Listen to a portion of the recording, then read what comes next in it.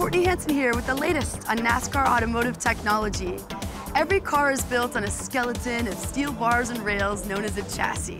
It's the foundation that the rest of the car is built around. But did you know that before a team can add anything from the engine to the body, the chassis has to go through a detailed inspection process. This happens at NASCAR's Research and Development Center. Every chassis is required to be pre-certified before it goes to the racetrack.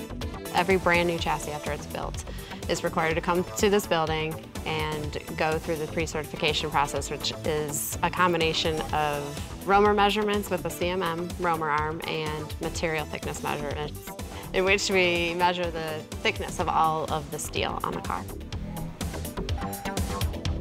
The Romer arm is a portable CMM, which is, stands for Coordinate Measuring Machine, and that measures the dimensions of the chassis, the X, Y, Z coordinates of the chassis. X is the fore and aft direction, Y is the side-to-side direction, and Z is the height off the floor. There's certain parts of the car that have to meet specific dimensions, and they all have tolerances. There's about 50 or so Romer measurements, and then there's over 150 material thickness measurements. We use an ultrasonic meter, which is, just works like an ultrasound when you have a baby. It just uses sound, and it, when you touch the steel, it bounces back and gives you a reading. So with the Romer Arm, our largest tolerance is a quarter of an inch, and our smallest tolerance is about the thickness of a dime, about 90 thousandths. In the beginning, a lot of people were scared of the process because the tolerances, you, a quarter inch is pretty large in most worlds, but when you're working on a vehicle with steel and welding parts together, it's actually a pretty small tolerance.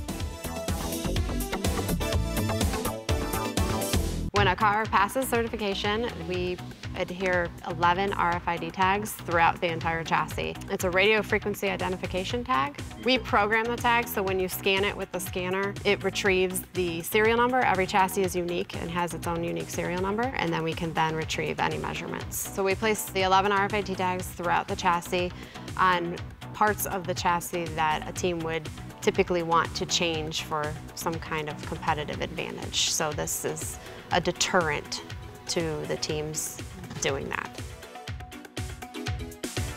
So once it is pre-certified, then the teams go take it back to their shop and they put the bodies on and they get it ready to go to the racetrack. And then once it's at the racetrack, they'll go through some template inspections and they inspect other various components of the car that we don't see during the pre-certification process.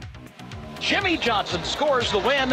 After the race, we bring the winner and a random car back from every racetrack, and we do the entire pre-certification process all over again.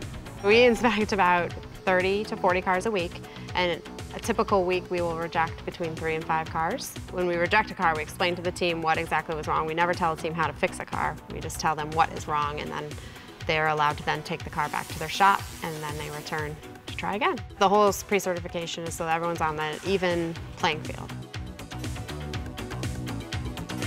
Before the cars make it to the track, before they even begin to look like cars, NASCAR makes sure that the teams are playing by the rules and keep playing by the rules all the way through the checkered flag.